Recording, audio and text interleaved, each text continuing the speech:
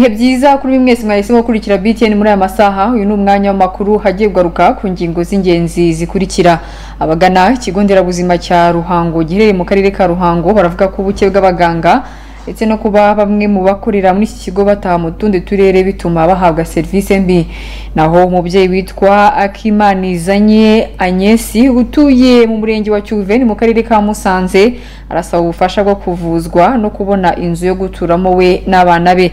Hanze rwanda aho imodoka y'umunyamabanga umunyamabanga wa visi perezida wa uganda yarashweho amasasu umunani mu gihe habura amasaha make ngo iki gihugu kijye mu matora y'umukuru w'igihugu.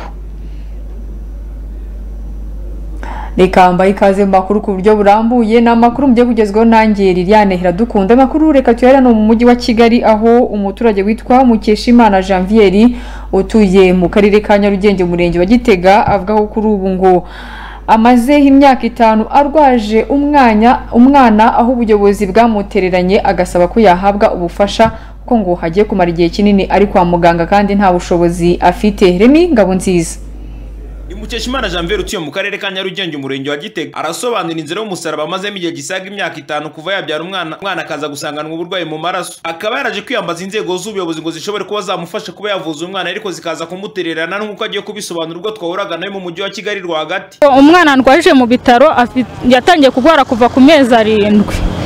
Ubwo agejeje imyaka itandatu. Buri munsi abarwaye niyo ntashye mara iminsi itatu imuhira nkagaruka. Ubwo nageragejeho nitabaza ubuyobozi ngo nyabura bujye bunkemura ikibazo cy'inzu. Nandikiye akagari kacu kakora basaba yuko banshakiraho kuba nyabura. Akagari kansubiza yuko nta bufasha gafite. Nandikira umurenge wacu wa gitega unsubiza ko nta bufasha ufite.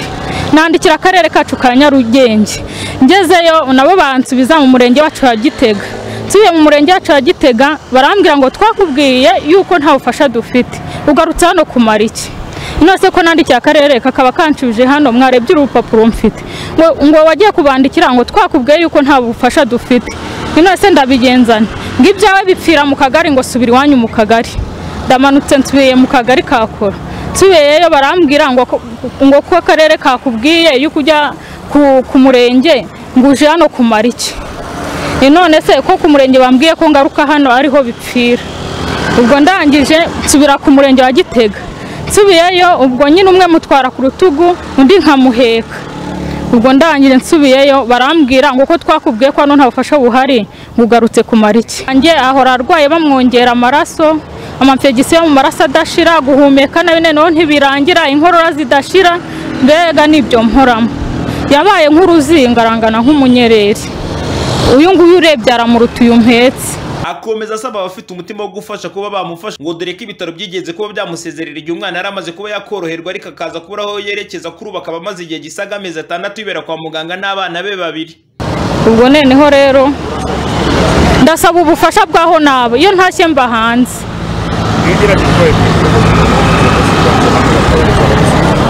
Barambwira ngo nta bufasha bafite. Bigize no gupanga kunyura babura aho banyura. Ntaye ari mu gace ka kimisagara. Afite undi mugore. Terankunga uwo ari we wese arangoboka iyo aje. Nkungu nta n'umuntu ngira n'umwe ungemurira nk'ikintu najya nk'uwo mwana mbega ibintu bijyanye n'ibyo ngibyo. Ubwo twateguraga inkuru twagerageje kuvugisha ubuyobozi bw'umurenge wa gitega ntibyadushobokera ku kibazo cy'uyu muturage. Uvuga ko yatereranywe nabwo. Iyi nkuru tukaba tuzayigarukaho mu makuru yacu ataha. Arakoze mugenzi wacu Remy Ngabonziza. Abagana ikigo nderabuzima cya Ruhango giherereye mu karere ka Ruhango baravuga ko ubuke bw'abaganga ndetse no kuba abaganga bavura baturuka mu tundi turere ngo bikomeje gutuma bahabwa serivisi mbi. Abagana ikigo nderabuzima cya ruhango giherereye mu karere ka ruhango mu murenge wa ruhango mu kagari ka munini ngo babangamiwe no guhabwa serivisi itanoze kandi itinda ubwo btn tv yagiraga aho iki kigo nderabuzima cya ruhango gikorera hari mu ma saa sita. Yasanze umubare munini w'abarwayi bari bategereje guhabwa serivisi. Abenshi muri bo ngo baba bazindutse ijoro bakagera kuri iki kigo nderabuzima ahagana mu ma saa moya bakabanza gutegereza umwanya munini. Abaganga bibereye mu nama ya mu gitondo. Abagana na btn tv batubwiye ko ngo mu by'ukuri serivisi bahabwa itabanogeye. Kimaze igihe kirekire cyane. Kandi urabona mu kuvurwa ntabwo turi buvurwe rwose bamwe baranataha ahageze saa tatu. Ntabwo badukorera amafishi mbese nk'umurwayi yarinze agahera gitondo yicaye hano ntabwo hari igihe imiti ibura bakatwohereza ahandi kandi ika- ikabwa bakatwohereza i kabgayi tuka- tukagenda naho tukayibura kandi twatanze amatike. Bakomeza bavuga ko ngo kuba umubare w'abaganga bakora kuri iki kigo nderabuzima ari muto biri mu bituma bahabwa serivisi itanoze. Niba baje kwipimisha batashye babi. Ngo nibatahe nta baganga bahari. Ndaba nyine kugira ngo batwongerere abaganga bajye babona ikibazana ndwaye hepatite b Eh, noneho narinje kugira ngo nifatishe amaraso nzajye nzajye muri tarasiferi mbega. Ariko uretse ko hari abaganga mbega bakeya badashobora kuba ba- babarangiriza mbega serivisi zabo vuba. abarwayi ni benshi abaganga ni bake. Tukaba dusaba mbega yuko bakongerera abaganga. mbona ari abaganga bake. Mwese bano bantu bararangiye turasaba abaganga nyine. Dukeneye abaganga bagomba kuvura abarwayi. Nicyo kibazo mbega gihangayikishije. Ibibazo hari abaganga bakeya usibye ngo kuba ari bake ariko haniyongeraho ngo no kuba muri iyi minsi ingamba zo kurwanya icyorezo cya covid cumi n'icyenda zakajijwe hakaza gahunda ya guma mu karere ngo hari bamwe mu baganga bataba mu karere ka ruhango bataha mu tundi turere bityo ngo rimwe na rimwe bakabura uko baza mu kazi. Bagize ikibazo cyo kutaza gukora hano. Eh, Eh, byagenze gute se kuki bataje? Nyine bafunze. Mm. Eh, kubera korona bavuga ko ngo bifuza ko leta yakongera umubare w'abaganga ndetse ngo n'aho iki kigo nderabuzima gikorera hakagurwa. Dore ko ngo ari hato kuzana abaganga benshi nyine ba- bakora bakatugira vuba bakaduha serivisi nziza. Nimba bafashe amafishi mu gitondo bakaza kuyatanga saa kumi n'imwe gusa urumva biri bugende tugasaba ubuyobozi kuko bahagura. Noneho bakatwongeramo n'abaganga. Ni cyo turimo dusaba. Ko bakongera abaganga. Ushaka kumenya byinshi kuri ibi bibazo bivuga ku kigo nderabuzima cya ruhango itn tv yavuganye n'umuyobozi w'akarere ka ruhango wungirije ushinzwe imibereho myiza mukangenza alphonsine. Atubwira ko ngo gahunda nshya yatangijwe muri iki kigo nderabuzima yo gukoresha amafishi yasimbuye udukayi ariyo yatumye serivisi zidindira. Ku kirebana n'umubare muto w'abaganga yemeje ko iki kibazo bakizi ariko ngo nk'ubuyobozi bw'akarere barimo bakorana na minisiteri y'ubuzima kugira ngo umubare w'abaganga uzongerwe ku birebana n'uko ngo abaganga bamara umwanya munini mu nama. Nyamara ariko bategerejwe n'abarwayi. Yavuze ko izi nama ziba ari ngombwa ngo ariko bagiye kubagira inama kugira ngo bajye bakoresha igihe gito. Asaba kandi abaturage bagana kino kigo nderabuzima cya ruhango batahawe serivisi nziza kwihangana. Akanabizeza ko ngo nk'ubuyobozi bagiye kuganiriza iki kigo nderabuzima ngo kugira ngo serivisi zirusheho kunozwa. Ngira ngo abaturage icyo twababwira ni ukubabarira abaganga batabashije kubasobanurira neza kuko iyi santire de sante ya ruhango mu minsi ishize hatangiyemo gahunda twese turabizi ko umuntu wivuza ku kigo nderabuzima eh, yahabwaga agakayi iyo kayi rero iyo uyihaye umurwayi hari igihe ataha akagenda ntabashe kuyibika neza ndetse yanarwara ntiyibuke kuyigarura ngo barebe ngo mu kwezi kwashize yari arwaye iki gahunda rero yatangiye kuri iki kigo nderabuzima ah, ni gahunda yo kugira ifishi y'umurwayi. Ni ukuvuga ngo umurwayi uje kwivuza ahabwa nimero ya fishi ifishi ye ikabikwa akajyana ya nimero hanyuma yagarura ya nimero akabasha guhabwa ya fishi ye tukabasha kubona eh, uburwayi bw'uko bwagiye bukurikirana n'uko yagiye ahabwa imiti. Rero abaganga hashobora kuba harajemo koko eh, kutakira abarwayi nk'uko byari bisanzwe eh, ntibabashe kwihuta. Eh, yenda rero icyo ntibabashije kugisobanurira abagana iki kigo nderabuzima ariko ndabwira umuyobozi waho ndetse natwe nk'ubuyobozi tuhagere kuko ni ikigo nderabuzima cyakira abarwayi benshi hagati ya mirongo irindwi n'ijana ku munsi. Eh, tubashe kubasobanurira mu akamaro k'iyo gahunda hanyuma eh, icyerekeranye n'abaganga na cyo ni byo koko ntabwo umubare eh, ugomba kuhaba uhari ariko tuba turafatanya na minisiteri y'ubuzima kugira ngo eh, tubashe kuhashyira abaganga bakwiye. Abari batuye eh, muhanga imodoka yagiye kubafata y'ikigo nderabuzima. Ndetse hariho na babiri batuye i nyanza na yo imodoka yagiye kubafata baza Eh, kandi ndasaba abaturage kwihangana ibitari bimeze neza biri bukosoke kuko turavugana n'ubuyobozi bw'ikigo nderabuzima babashe guhabwa serivisi uko bikwiye. Hirya no hino mu gihugu ibigo nderabuzima biganwa n'abarwayi batandukanye bikaba serivisi y'ibanze. Abasanzwe bafite uburwayi burenze ubushobozi bw'ibigo nderabuzima bagahabwa taransiferi ikigo nderabuzima cya ruhango ni kimwe mu byakira abarwayi benshi dore ko cyakira abarenga ijana ku munsi. Iyi ni btn tv ngenzimahoro samson ndi mu karere ka ruhango. Arakoze mahoro samusoni reka twerekeze mu ntara y'uburengerazuba umuturage witwa mugabo rucyana jean utuye mu karere ka rubavu ni mu murenge wa rubavu mu kagari ka byahi ashinja umuyobozi w'akarere ka rubavu kumwambura isambu ye aho havuga ko ngo amurenganya agasaba ko yamurenganura akayimusubiza dore ko ngo ayifitiye ibyangombwa ko ngo yayihawe ubwo iyo yari afite yanyuzwagamo umuhanda. Parisele yanjye kwa meya wa nani wa rubavu. Parisele yanjye yindi nari ndi gushaka kumwishyura iri kanembwe. Nayo yarayinyamburishije n'urwandiko rwa meya ndarufite rwayinyamburishije bayikwambuye bayikwamburira iki? Ngo nayibonye mu buriganya kandi ifite icyangombwa cyayo. Narihawe hamwe n'abari baturutse ku musozi wa rubavu. Ngo nayibonye mu buriganya. Ubwo buriganya nabwiye meya ngo abwerekane yarabubuze. W'akarere amateka bacishije imihanda muri ano parisele yacu hano dutuye ku karundo. Bacishijemo imihanda leta. Ubwo twandika turi abaturage niba ari makumyabiri na bangahe mfite lisite yabo. Dusaba yuko baturenganura bakaduha ingurane ya- y'aho bacishije imihanda.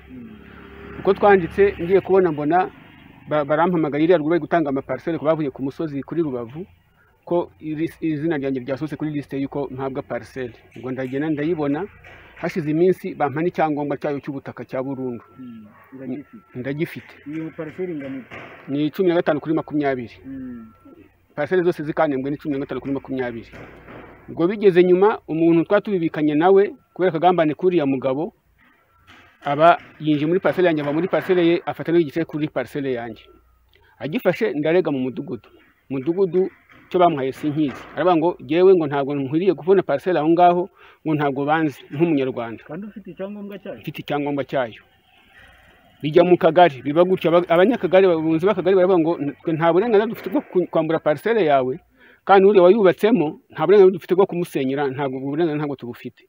Uzajye mu nzego zidukuriye njya ku murenge. Ngeze ku murenge naho biba gutyo. Bibaye gutyo mfata inzira nandikira meya mfite n'urwandiko namwandikiye. Agiye kunsubiza aransubiza ngo ngo parisele bajya mu manketi iriya ruguru. Ngo ngewe parisele ntabwo nayibonye mu nzira zi- zi- zikwiriye. Ngo nayibonye mu buriganya. Ngo ningarure parisele n'icyo cyangombwa nkigarure. Nanga kumusubiza icyangombwa icyangombwa cyanjye ndacyagifite na n'ubu. Kiye umurenge. Ubwo baje gupima inani ibibanza rero nsohoka ku- mu gitabo yuko nanjye bampa parisele n'icyangombwa ndagifite kiri mu rugo. Nkasaba yuko bandenganura bakansubiza parisele yanjye n'uwo bayihaye afite iyindi parisele iruhande nuko yayigurishije asigara n'iyanjye uyu mubyeyi akemaniza nyenyesi.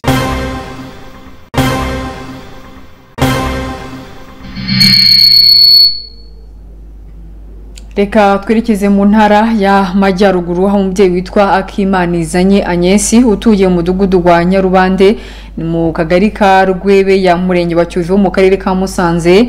Asaba ko yafashwa agahabwa ubufasha akabasha kwivuza ndetse akabona aho gutura n'abana be. Gaston irembere uyu mubyeyi akemaniza nyenyesi aravuga ko uburwayi bwe bwamufashe mu mwaka wa bibiri na cumi na kabiri. Nyuma ngo yagerageje kwivuza uko ashoboye ariko birananirana kubera ubushobozi buke dore ko ngo burwayi bwe bwaje gukomera maze bumusigira ubumuga budasanzwe bw'ingingo. Kuri ubu uyu mubyeyi aravuga ko ubuzima bwe buri mu kaga gakomeye kubera ko yibera mu buriri dore ko iyo atabonye umugiraneza umuterura ngo amushyire mu kagare amusunike amugeze hanze ngo uyu mubyeyi yibera mu buriri iminsi yose dore ko ngo n'umugabo we yabonye ahuye n'ubu burwayi maze aramuta amusigira abana batanu harimo n'umwe muri bo ufite ubumuga. Ubwo twasuraga uyu mubyeyi aho akodesherezwa n'ubuyobozi mu kagari ka rwebeya mu murenge wa cyuve w'akarere ka musanze yatubwiye inzira ndende y'umusaraba mu burwayi bwe. Uburwayi na- nahuye n'uburwayi byatangiye muri bibiri na cumi na kabiri nko mu kwezi kwa gatatu gutyo ntangira kurwara njya kwa muganga ba- barasuzuma genda noroherwa bigeze aho biza gukomera. Hano mu ruhengeri mbona bikwanga njya kwivuza mu bitaro byo kwa nyirinkwaya i kigali noroherwamo gake ndagaruka bigeze aho noneho ndongera mererwa nabi. Nsubira kwa muganga. Baramvura uko bashoboye ariko baza kuvuga ngo birashoboka ko bi- biterwa no kuba ntwite nimara kubyara ubwo bizashira. Igihe cyo kubyara ki- kigeze ndagenda ba- barambaga bateruramo umwana. Bamaze kumuteruramo nyuma y'ibyumweru nka bibiri umwana avutse ni bwo noneho ikibazo cyaje gifite ingufu nsubira kwa muganga.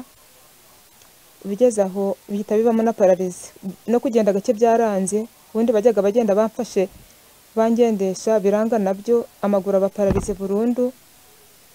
Nibwo hano muri hopitali ya ruhengeri bamaye taransiferi njya muri chk bafata ibizamini byose bishoboka nk'uko bajya bavura abantu nyine bari gushaka indwara nuko bigenda biba negatifu baza kuncisha muri sikaneri bapimye mu mugongo basanga hari ikibazo kiri mu mugongo mu ruti rw'umugongo baravuga ngo ubwo ngo ni igituntu cyo mu magufa bantangiza imiti y'igituntu cyo mu magufa hamaze bongera gupima ubundi buryo bajya babipimamo kugira ngo barebe ko byakoranye n'ubwonko akaba ari byo byaba byaranteye pararizi byo babipimye basanga bitarakoranye n'ubwonko ariko baravuga ngo twe gukomeza gufata iyo miti y'igituntu. Imiti nayifashe amezi cumi na kumwe yose ndayirangiza. Baza gupima mu nda hari ibyo bapimye baravuga ngo ha- hari ibintu babonye ba- baza kubaga ariko babaga kubera ko baba bazi impande babaga uruhande rumwe bakabaga n'ahandi bituma ndyama mu buryo bumwe nkaryama ngaramye bituma ncika ibisebe ku kibuno. Bimbesha mu bitaro bagerageza kubivura biran- birananira bimbesha mu bitaro imyaka iren- irenga ibiri kubera ko byari binini bisaba ko kugira aho bomora bakomeka hahandi ibisebe biri ariko ko nari narananutse cyane bakabura aho aravuga ngo ngerageze kurya. Igihe kigeze rero yaranje sinzi aho bakuye inyama bom- bomora hamwe bomeka hahandi ibisebe biri imyaka irenga nk'ibiri ndwara ibyo bisebe. Maze umwaka ndi mu bitaro aka kaguru akaguru k'iburyo kaje kugira ikibazo kazamo icyo bita gangrene. Bapimye rero ba- bansubije muri CHK basanga ngo byatewe n'umutsi wazibye ama- amaraso ntiyagera mu kuguru. Noneho biba ngombwa ko ku- ukuguru baguca kuko ngo iyo bataguca byari kugenda bifata n'ahandi. Ubwo uko nafashwe igice cyose cyabaye pararizi ni uko baguciye kuri pararizi nuko hasigaye kuko uracyari pararizi na n'ubu ngubu. Nta kintu ki- byahindutseho byakomeje kuba pararizi n'ubu akaguru kasigaye nako kari pararizi nubwo inzu uyu mubyeyi abamo ayikodesherezwa n'ubuyobozi arasaba ko aramutse abonye inzu ye bwite yabanamo n'abana be ngo byaba byiza kurushaho kuruta gutegereza ko imuhana kaza imvura ihise. Ikindi kandi ngo aramutse abonye n'ubufasha bwo kwivuza na byo byamufasha kurushaho. Mu bijyanye no mu buzima busanzwe nifuza kuba nabona inzu. None icya- ikindi nkifuza kuba nabona ubu- ubufasha bwo kuba nakwivuza mu buvuzi burenze aho bari abamvuye. Gusaba nyine bari gusaba umuntu abonye ibyo bya- byaba byiza kurushaho ko ari uwabishobora aka- akantera inkunga bigakorwa na byo byamfasha. Twashatse kumenya icyo ubuyobozi bw'umurenge wa Cyuve buteganyiriza uyu mubyeyi n'abana be ku bijyanye n'ibyifuzo bye maze ku murongo wa telefone duhamagaye umunyamabanga nshingwabikorwa w'uyu murenge bwana Bisengimana Janvier ntiyaboneka. Gusa iyi nkuru turakomeza kuyikurikirana tuzayibagezeho mu makuru yacu ataha. Uretse kuba yarahuye n'uburwayi budasanzwe amaranye igihe kirekire bukaba bwaramusigiye ubumuga bw'ingingo. Uyu mubyeyi Akimaniza Nyanyesi aranavuga ko uburwayi yahuye nabwo bwatumye ahagarika akazi burundu dore ko ngo yahoze ari umwarimukazi. Gaston Nirembere BTN TV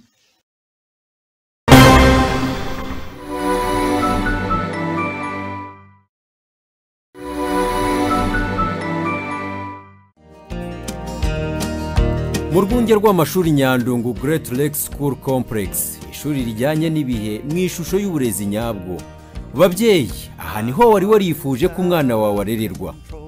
Muri uru rwunge hari ishuri ry'inshuke materineri rifasha abana gushyira mu nzozi ibyifuzo by'ababyeyi ku hazaza heza h'abana babo bigishwa ubumenyi butandukanye bakidagadura bagasabana na bagenzi babo.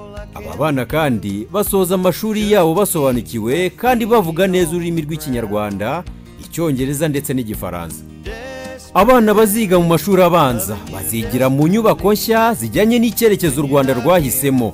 Isuku igaragarira buri wese mu kigo mu byumba by'amashuri mu bwiherero bwaba ubw'abakobwa cyangwa ubw'abahungu kandi byose byujuje ubuziranenge. Umunyeshuri wa nyandungu Great Lake School Complex ategurirwa ifunguro rya mu gitondo na nyuma ya saa sita kandi ryujuje intungamubiri akeneye. Muri uru rwunge rw'amashuri twatandukanye burundu no kwandikisha ingwa ku rubaho kuko dukoresha uburyo bugezweho bwo kwandikisha marikeri. Nyandungu Great Lake School Complex ifite isomero rifasha abanyeshuri gukora ubushakashatsi mu byo biga no gukunda gusoma. Kigo kandi gifite computer lab aho buri munyeshuri yisanzura kuri mudasobwa ye bikamufasha kwagura ubumenyi akarangiza amasomo ye yemye. Amasomo iyo ashojwe nyandungu Great Lake School Complex yateganyije imodoka zitwara abana zibazana ku ishuri ndetse zikanabatahana Nyandungu Great Lake School Complex.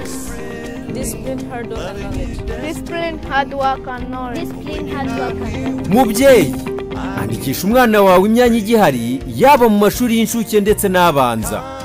Nyandungu Great Lake School Complex riherereye i nyandungu ahazwi nko kwa haji hafi yo kuri cumi na gatanu.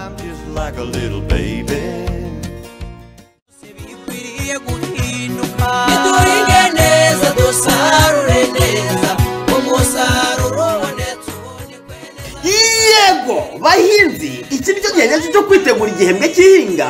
Kugira ngo twongere umusaruro. Ni muri urwo rwego kampani ya barton rwanda limited yabazaniye inyongeramusaruro z'ubwoko bwose. Harimo nk'amafumbire aterwa amababi nka woxomakromix ifite na sitika ivangwa n'imiti kugira ngo imvura cyangwa izuba ryinshi ntiriyivaneho. Profid standard. Na multike musanzwe mumenyereye. Umuti urwanya indwara z'uduhumyo mu birayi n'inyanya witwa barcorat imiti y'udusimba na nkongwa na rufusipurumetine na boketi tugufitiye kandi amapompo yifashishwa mu gutera imiti mu myaka yujuje ubuziranenge kuko aturuka mu bihugu by'i burayi. Urifuza iyi miti cyangwa se kuyicuruza waduhamagara kuri telefone ngendanwa. Zeru karindwi umunani umunani mirongo itatu mirongo irindwi na kane mirongo inani na gatatu. Cyangwa ukaba watugana ku cyicaro cya barton rwanda limitedi giherereye kagugu kuri sitasiyo ya mereze. Barton rwanda limitedi igisubizo cy'umuhinzi nyawe. Ukorere neza utere imbuto z'indobanure uzitere ku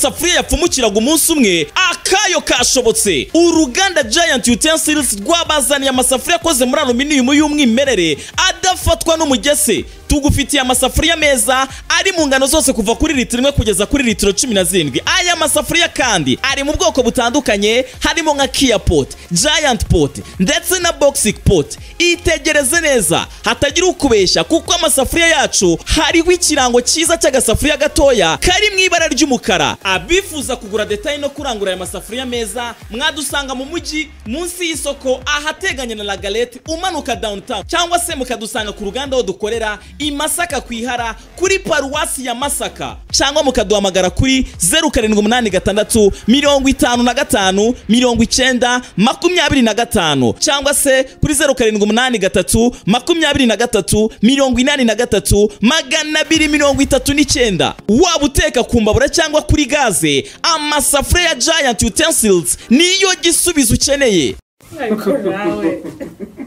amaganza. Ngaho mbwira ibiribwa biri mu byiciro bitatu. Hakurikijwe eh, umumaro bifite mu mubiri. Ndabizi. Ngaho bimbwire ibirinda indwara ibitera imbaraga n'ibyubaka umubiri. Aha. Ibirayi biri mu kihe cyiciro? Mu byubaka umubiri. Oya. Biri mu bitera imbaraga ko n'ibinyamafufu. Eh, ngaho mbwira. Inyama n'ibishyimbo bitera imbaraga. Oya biri mu byubaka umubiri kuko ni ibikomoka ku matungo n'ibinyamisogwe. Inanasi? Ni ibirinda indwara Eh, ibyo byo ni byo Eh. nizere ko rero utazongera kwirinda ibirayi ngo urashaka ngo inyama nizo zikugabanyiriza ibiro? Ni ukuri ntabwo nzongera ukuri ndakumenya mubyeyi gabura indyo yuzuye umuryango wawe mu bushobozi waba ufite bwose. Indyo yuzuye igomba kuba irimo ibitera imbaraga ibyubaka umubiri n'ibirinda indwara. Ku bana bato by'umwihariko bakenera ibyubaka umubiri kugira ngo bakure neza nk'amata amagi amafi n'ibindi. Ibirinda indwara nk'umutobe w'imbuto n'imboga kugira ngo batarwaragurika. Abagore batwite nabo bagomba gufata indyo yuzuye kugira ngo umwana atazagwingirira mu nda. Ubu butumwa mubugejejweho n'umuryango help a child rwanda.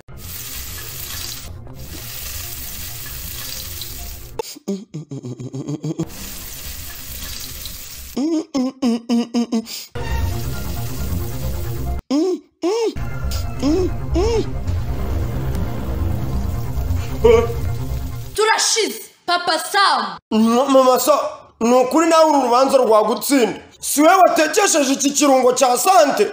Ni ukuri rwose mujye mwihanganira abantu ikirungo asante wowe ugiye guteka inyama ibishyimbo imboga ipilawu n'ibindi biryo byose ugiye guteka ntihaburemo ikirungo asante kuko uburyohe bwo ni Mm. abifuza kukigura muragisanga mu mabutike atandukanye ikirungo asante ni Mm. Rwego rwo kwizihiza iminsi mikuru ya noheli n'ubunane. Tekino yesi fone tubafitigiza agahebuzo. Ndavuga kamon 16 kamon 16s na kamon 16 premier ikesha amafoto ku megapixel mirongo itandatu n'enye ifata amavidewo mu buryo bugezweho bwa slow motion tunagufitiye izindi nka kamon 15 na kamon 15 premier spox 5 na spox 5 pro pouvoir 4 ibika umuriro iminsi na yose n'izindi nyinshi abanyamahirwe bazatsindira ibihembo nka moto amafirigo televiziyo za furate za smartphone ndetse n'imodoka nshyashya muri gahunda ya noheli ishyushye na tekino yesi fone dusange mu mujyi rwagati hafi ya city plaza ahamanitse igitelefone cya rutura cyanditseho yesi fone na nyabugogo mu mashyirahamwe iruhande rwa mtn center na airtel center. Uzibuke kandi gusaba ikarita iguhesha amahirwe yo guhatanira ibyo bihembo. Igurira ibikoresho bya informatike na elegitoronike muri Planet Innovation. Ukeneye kompiyuta zigezweho kamera zifata amashusho HD servers projector CCTV cameras antivirus computer accessories. Si ibi gusa kuko uhasanga kandi IT solution web designing office supplying software solution na networking supplies. Dusange mu mujyi rwagati imbere y'inkuru nziza. Cyangwa uduhamagare kuri zeru karindwi umunani gatanu mirongo itandatu na rimwe mirongo icyenda na kane mirongo icyenda na gatanu. Cyangwa zeru karindwi umunani umunani magana cyenda mirongo irindwi na karindwi zeru zeru gatanu. Planet innovation. We offer good service and sell best products.